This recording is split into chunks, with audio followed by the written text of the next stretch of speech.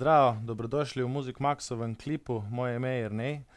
Danes vam bomo predstavili, Crafterjev akustični bas BA štiristo EQ. To je bas srednjega razreda, in sicer to je malo manjši bas, zelo luštno ga je igrati, glih zaradi njegove oblike. takole je, sestavljen je iz masivne plošče vspredaj, se pravi spredaj je masivna smreka, odzadaj pa je laminirana jesen. to je standardni, ima standardni vrat, mahagonijev vrat, z dvaindvajsetimi prečkami. na njem je, LR Baxov predoječevalec, ima tudi tuner.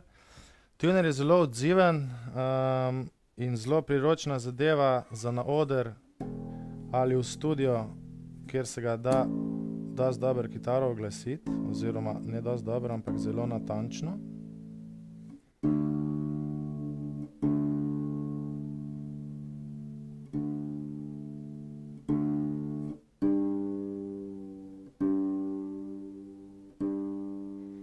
To je to.